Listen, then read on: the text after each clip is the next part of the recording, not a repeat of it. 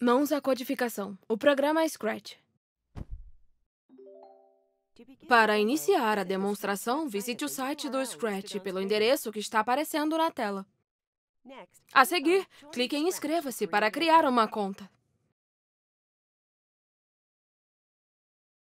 Se você já tem uma conta, clique em Entrar. Você pode trabalhar no Scratch em muitos idiomas diferentes. Selecione o idioma desejado por este menu. Esta é a interface do Scratch. Na parte esquerda da tela, você pode ver três abas. Código, Fantasias e Sons. Clique na aba Códigos.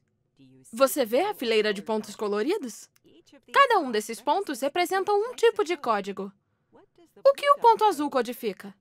Isso mesmo, movimento. Você pode utilizar esses blocos para programar movimentos. Agora, clique nos códigos de aparência roxa.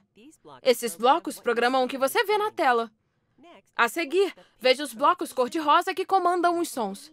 Você tem muitas escolhas para adicionar sons ao seu programa. Você pode pesquisar na biblioteca de sons mantendo o cursor do mouse sobre selecionar um som. Veja todas as opções na biblioteca de sons. Pressione as setas roxas para ouvir o som. Você pode carregar um som do seu computador. Pode até mesmo gravar seu próprio som. Todo programa de computador deve começar em algum lugar. Você iniciará o programa codificando um bloco de eventos. Você consegue encontrar o bloco que diz ao computador para realizar uma ação quando a bandeira verde for clicada? Vamos conferir os blocos código laranja.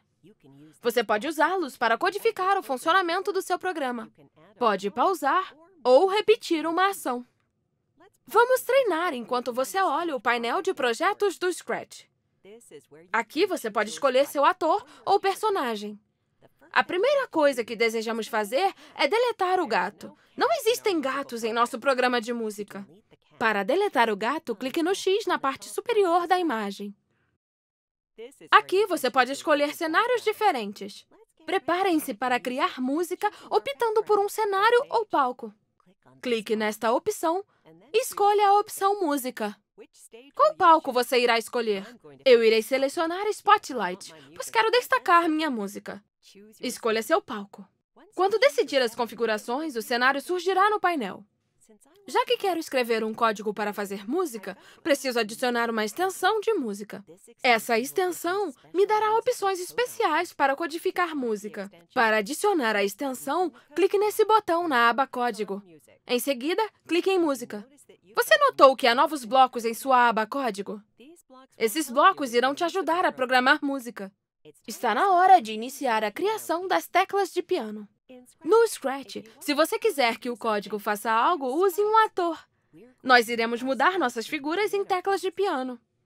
Clique no botão Selecione um ator e escolha a opção Pintar. Como se parece uma tecla de piano? Acho que se parece um retângulo. Logo, irei desenhar um retângulo. Pressione o botão Preencher para decidir a cor da sua tecla. Quero criar três teclas para o meu piano.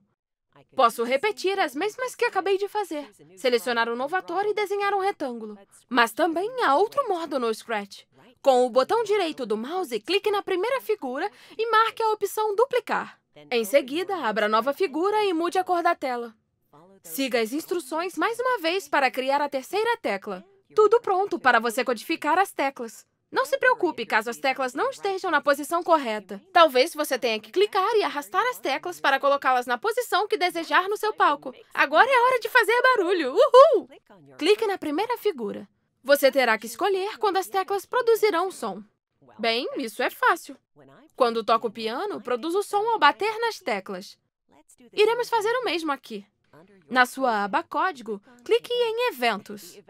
Blocos de evento determinam quando algo deve acontecer. Escolha o bloco quando este ator for clicado e o arraste até o centro do painel. Volte para sua aba Código e clique em Música. Você irá querer se certificar de que as teclas de piano soem bem como um piano. Arraste Mudar Instrumento para até o bloco e o conecte ao bloco de evento. Utilize o menu pendente para selecionar a opção piano. Para que o piano faça som, encontre o bloco Toque a Nota e o arraste para baixo dos outros dois blocos. Você deverá dar a cada tecla uma nota diferente. Ao clicar na caixa de números, um teclado é aberto. Escolha uma nota. Vou escolher a sexagésima, que é similar a um dó central no piano. Está na hora de experimentar. Clique na figura e ouça o som. A seguir, clique na figura 2 e repita o mesmo processo. Inicie com o bloco de eventos, adicione um instrumento e os blocos de nota.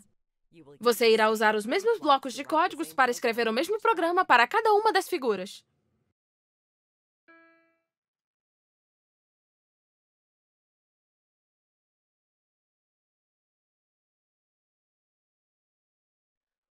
Uma vez que você codificou cada uma das figuras, clique nas teclas para escutar os sons. Você consegue tocar uma melodia? Muito bem, programador! Você pegou o jeito! Mas espera aí, há mais uma coisinha. Se quiser compartilhar seu piano com outras crianças, você pode. Apenas clique no botão compartilhar. Outros programadores podem modificar seu piano e podem criar as versões deles. Agora que já começou, o que mais pode criar com o Scratch? Se precisar de ajuda, encontrará na seção de tutoriais algumas dicas e pistas caso fique sem inspiração.